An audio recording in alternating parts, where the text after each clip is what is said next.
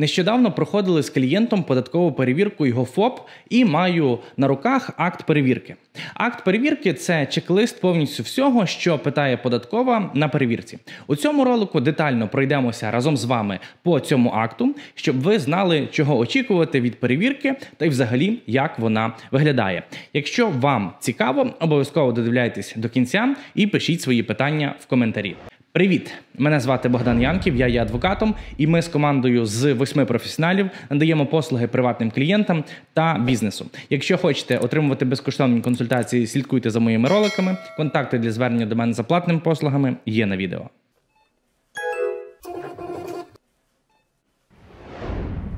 Спершу мушу сказати, що ми з клієнтом проходили документальну, позапланову, невиїзну перевірку. Клієнт закривав один зі своїх ФОП і йому призначили перевірку.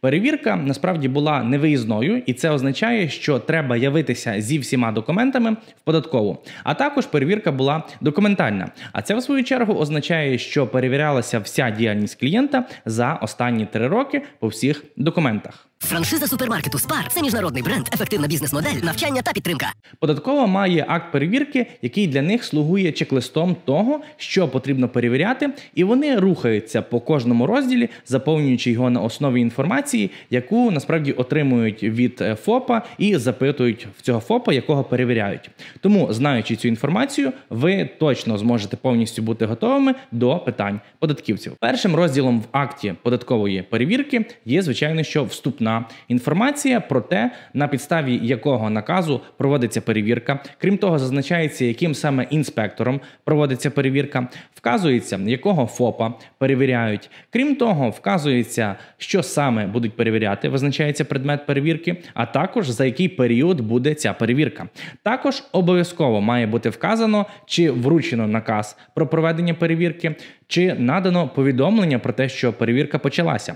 Обов'язково вказується місце, де проводиться перевірка, і чи був присутній ФОП під час цієї перевірки. А також вказується, чи підписався інспектор в журналі перевірок ФОП. Тобто, вступна частина є такою базою, де вказуються загальні параметри перевірки. Далі є описова частина перевірки, на якій інспектор якраз з'ясовує всі можливі порушення, які були вчинені підприємцем, і описова частина перевірки є найбільшою.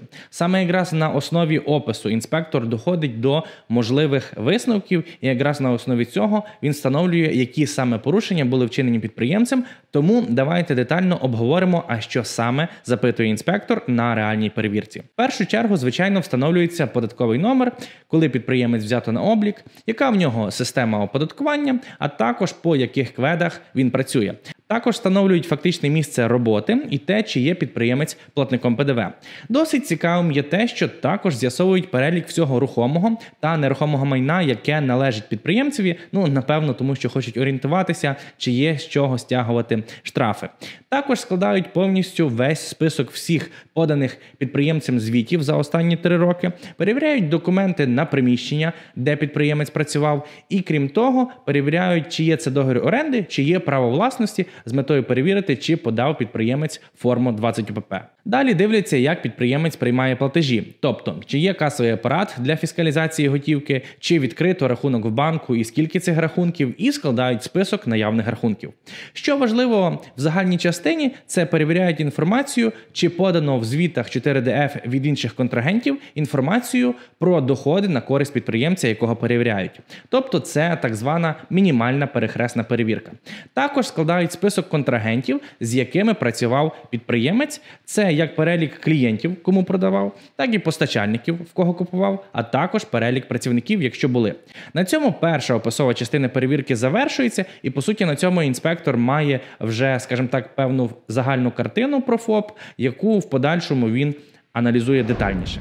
Наступний розділ податкової перевірки це детальний аналіз отриманого доходу та нарахованого податку внаслідок отриманого доходу. Інспектор у вас запитає, чи вели облік доходів, попросить виписку з банку, обов'язково попросить виписку з касового апарату, якщо він є, та почне рахувати, чи правильно ви заповнювали декларації, буде перевіряти, чи правильно працювали по тих кведах, які обрані вами на спрощеній системі оподаткування. Також буде дивитися, чи правильно нараховано вами податки на ваш прибуток. Якщо дохід був в іноземній валюті, то інспектор обов'язково перевірить у вас, чи правильно ви рахували курс гривні при конвертації іноземного доходу у гривню для сплати податку. На даному етапі також хочу підтвердити, що питають тільки ті рахунки, які відкриті саме на ФОП. А не на фізособу. Тобто, якщо є рахунки у Монобанку чи приваті, які є і на ФОП, і на фізособу, запитають виписку з банку тільки з тих рахунків, які є ФОПівськими. Оскільки інспектор має перелік ваших контрагентів, а саме покупців, постачальників, працівників, який він склав згідно вашої виписки з банку, то інспектор далі питає документи, які підтверджують роботу з цими контрагентами. Тут детально можуть розглядати ваш договір оренди, на основі якого ви, наприклад, орендували приміщення, накладні, які підписували про поставку товарів. Також переглядають акти приймання передачі, які ви підписували при отриманні чи наданні послуг. Можуть переглядати договір публічної публічної оферти, якщо, наприклад, працювали в інтернеті. Звичайно, тут треба орієнтуватися дуже грамотно, коли ви маєте надати документ, а коли ні. Бо інспектор насправді питає все підряд і треба грамотно парувати. Наприклад, якщо у вас не було продажі товарів, які пов'язані із ризиковою групою, то на це треба акцентувати, і саме це буде аргументом відсутності первинних документів на товар, який ви продавали. Якщо не будете грамотно аргументувати інспектору і парувати, а будете плисти по течії, на жаль, інспектор вас спробує завалити купою зайвих питань, чим, скажімо так, домалювати зайвих проблем. Така, на жаль, практика. Наступний розділ перевірки це перевірка кадрових документів, сплати податків ФОПом як податковим агентом, а також сплати податків ФОПом на користь нарахованого доходу на користь інших фізичних осіб по договорі ЦПХ чи, наприклад, по договорі оренди приміщення у фізособи. Тут треба мати на увазі, що якщо ви в попередньому розділі залюбки надали інспектору договір оренди, де ви орендуєте приміщення, наприклад, у фізособи, а це часто на практиці, то на попередньому розділі у вас могло бути все класно вчасно. А от на цьому розділі інспектор вас спробує підловити і спитатися, чи сплатили ви податок як податковий агент на дохід фізичної особи при сплаті оренди. Якщо ні, з радістю нарахує вам штраф. Наступний розділ перевірки ваш улюблений. А саме це питання дотримання закону про фіскалізацію, закону про РРО. Тут перевіряється велика кількість питань. А саме, чи є взагалі касовий апарат, чи мав він у вас бути, чи правильно видавалися фіскальні чеки, чи вчасно підприємець, наприклад, закривав зміни. Також перевіряють, чи не видавався чек на суму понад 50 тисяч гривень при готівкових розрахунках, бо це заборонено. Також з'ясовують, чи наявний у підприємця термінал для приймання оплати картою податкою, чи ввів підприємець облік товарних запасів. Зауважу, що на цій податковій перевірці у нас не питали РРО та облік товарів з 24 лютого 2022 року, а перевіряли лише попередні періоди до 24 лютого 2022 року. Проте ми чітко дали інспектору зрозуміти, що ми орієнтуємося в законодавстві і не дамо йому вийти за рамки законодавства. До речі, нагадаю, якщо хочете бути професіоналом у питанні РРО та обліку товарів, вам треба мій курс ПРРО 2.0, який стартує вже 20 травня, тобто на наступний тиждень. Лінк на бронювання місця в описі до відео. Чекаю на курсі. Далі є декілька розділів, які у підприємців трапляються рідко. Проте в чек-листі про це питання є завжди, бо це ж чек-лист. Перевіряють, чи є ліцензії на певні види здійснення діяльності, а також перевіряють найчастіше тут, чи є ліцензія, наприклад, на торгівлю під акцизними товарами. Ну і крім того, можуть перевірити, чи дотримано валютне законодавство, якщо у вас були імпортні чи експортні операції з-за кордону.